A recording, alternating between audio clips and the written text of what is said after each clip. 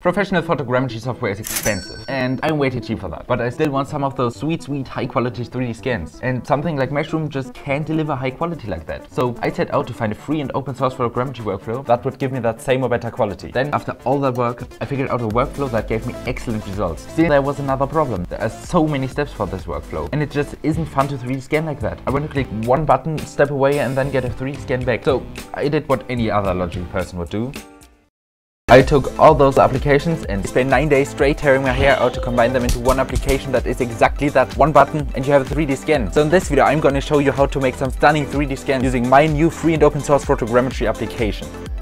For your camera settings, you'll want to balance three settings. The f-stop should be as high as possible, but I wouldn't go larger than 10 or 12. The ISO should be as low as possible, and the shutter speed should be as high as possible. When shooting handheld, I would at the very least use a shutter speed of 150 or so, even if it means raising the ISO, because motion blur is a bigger problem than ISO noise. If you're using a phone to take the pictures, look in the saving options if there is an option for raw images. If there is, enable it. Then, so that the settings don't change between images, look look if your phone has something to lock the exposure, white balance and ISO. Or some camera apps have a pro mode where you can manually set all of these settings. Then when you're taking the pictures, you'll want to take pictures from lots of different heights. Maybe like one from very top down, then a little bit down, a little bit more down and so on. Everything you don't take an image from is not going to be included in the 3D scan. And also when you're taking pictures, make sure there's a decent amount of overlap between the images because if you don't have a decent amount of overlap, the photogrammetry software will struggle to find where the picture is in relation to the other. I always try to get at least 50% overlap between two images. The pictures are taken, but we still have to do a little bit of processing on them, so I will do that in Darktable. Now that all the images imported into Darktable, I'll search an image that has both dark and bright spots so that we can better match the brightness of the dark and light parts of the wheelbarrow. So I, I think I'm gonna use this image here and I'll double click it to open it in the dark room here. And then I'll start by adjusting the exposure until this big hill here is about in the middle. You can also flip back and forth between the manual and automatic modes to see if you need to adjust the manual a little bit. As you can see the automatic mode is not going as bright as we did so I think I'm gonna go a little bit down with the exposure as well in the manual mode. The reason why I won't just use manual is because we need to copy this exposure to each image because it can change between the images. But I think this exposure is looking great so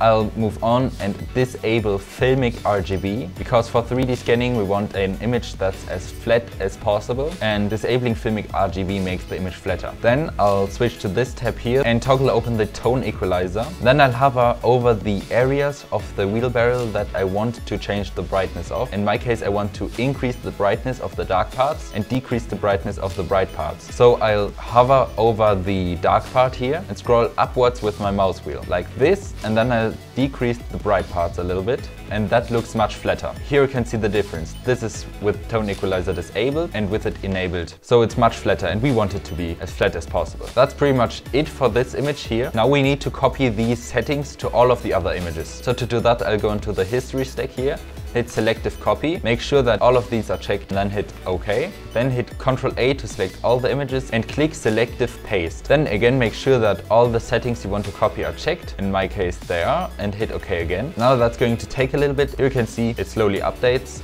and everything gets much flatter. That's pretty much it for the processing of the images, so we can export them now. To export them, select all the images again, go to the Export tab and pick a folder where you want to place the images. Select as output destination. Then for the file format, I'll use PNG 8-bit and I will limit the resolution to 3000 pixels to make it a little bit faster. Then, once I'm happy with all these settings, I'll hit export. Now that all of the images finished exporting, the last step is the actual 3D scanning process itself. So to download the photogrammetry application I made, go to this URL right here and download the latest version. Once that's downloaded, extract the zip file and open the simple photogrammetry GUI.exe file. Now it's saying we need to install some dependencies and we need administrator rights for that. So close the application again and relaunch the exe with administrator rights. Then choose the version you need. I will choose CUDA and then that will download the dependencies. Once it's done installing, just select the folder with the processed images in it and select the folder where you want the final result to be stored. Make sure there's a decent amount of disk space space in the place where you have your output folder because the files this application will generate can be quite large. Also before you click start, you'll only want to have this use GPU when possible checkbox ticked if you have a dedicated GPU because if it uses your integrated GPU, your computer will most likely lock up. So yeah, but then click start and wait until the process is finished. Before I show you the finished 3D scan, I'd like to tell you about a 3D asset pack I made containing 10 more 3D scans in the style of the wheelbarrow that we scanned in this tutorial, including this cool hammer here, a pickaxe, this large concrete block, a bucket with coal and some more. It is now available on my Gumroad, the link will be in the description. If you decide to pick it up, I'd be massively grateful to you because it truly helps me a lot. But now, the final 3D scan. Then once that's finished, you can import the texture.obj file into Blender and